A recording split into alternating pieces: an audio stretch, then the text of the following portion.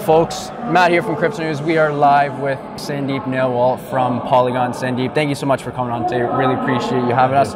Want to start off by asking you about Polygon and your incredible year. How's that been so far for you and the team? It's been it's been really great. It's been a very rewarding journey, but on the on, on the same uh, side, it has been very very taxing. Like you know, I think we all aged like five years in or maybe ten years in the last two and two or three years. So yeah, definitely like I've picked up weight. I've lost hair. Same be same with my team. So yeah, it's been rewarding as well as like very hardworking time also. I love that. Well, you still look great, and I got a lot more gray hairs than you, so that's a great place to start. Strategic expansion goals for 2022. You guys are everywhere in the news right now. What do those strategic expansion plans look like? So the strategic uh, expansion plan are, you know, from our side is like very heavily focused towards the zero knowledge technology. Uh, we recently announced a billion dollar fund on zero knowledge, and then uh, out of that we have done multiple acquisitions. Uh, we announced Polygon Hermez, which was like was the, the first uh, zero knowledge product that we launched. Then we also did this. Uh, uh, you know, Polygon Nightfall, which is with the Ernst & Young, uh, one of the big four, uh, you know, companies in the world uh, in terms of audit and consultancy. And then we have multiple other uh, initiatives also on that front to be launched very soon. And uh, we will be very, very heavily, you know, focused on zero knowledge in the next six to eight months.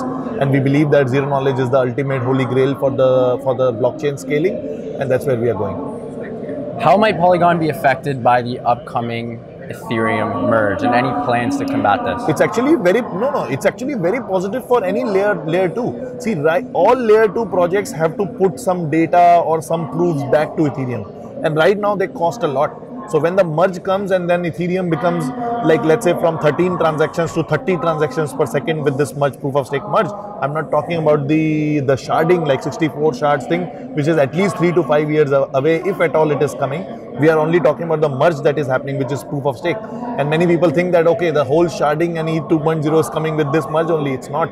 It's simply the merge from proof of work to proof of stake, and then then Ethereum is going to have like uh, you know probably 30 transactions per second and all that it's, it's it's good for us it's it's good for all the layer 2 projects overall and what trends do you see in polygon and how is polygon going to be used in the nft space more specifically so nft already like i mean again this this is not a very widespread knowledge somehow but uh, nfts polygon is the biggest project like we recently spoke with somebody i mean i can't name but one of the biggest platforms uh, uh analytics platform and they were doing an analytics on instagram for example so you know 80% of the Instagram NFTs are on Ethereum, 15% are on Polygon, and the rest 5% is on other of them. Like so, Ethereum plus Polygon form like 95% of the NFT market. So you know, Polygon doesn't have those big like uh, you know your your CryptoPunks and hundred million dollar NFTs, but the smaller NFTs, which is what Polygon is built for, for games, for metaverses, Polygon has the leading position in that,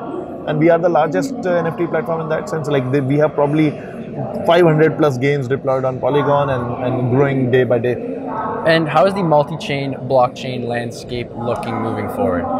I mean, we have been very clear that world is going to be multi-chain, but we feel that multi-chain is not on the layer one, but on layer two. So we believe the world will be multi-chain, but the multi-chain world will exist on top of Ethereum instead of multiple layer ones existing. We don't believe in that thesis. We believe that Ethereum is going to be the ultimate settlement layer and on top of it there will be a lot of layer ones or layer twos that will be built and connected with it. Got to ask the competitor question.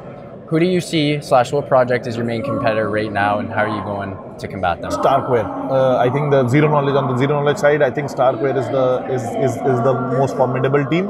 And uh, with our multiple zero knowledge efforts, we believe that uh, you know we, we would be uh, you know we would be able to edge ahead on that. But Starkware is a very formidable team. With how quickly you and the team are growing right now, would you ever considering doing a fresh capital raise? We we actually yes we would be doing something in the future uh, and you know planning for something we might do a smaller you know kind of capital so, could you give us a crypto news exclusive right now what that's going to look like? No no no, no not i unfortunately i can't but yes we are we would be looking to something. And your m&a strategy moving forward our last question it's, what is it's that going to be like? more and more aggressive like you know i mean we want to become the transaction layer of uh, of ethereum and we'll be we'll be we'll, we'll constantly keep doing that. Perfect sandeep really appreciate your time thank, Thank you. you. Thanks. Thanks, guys.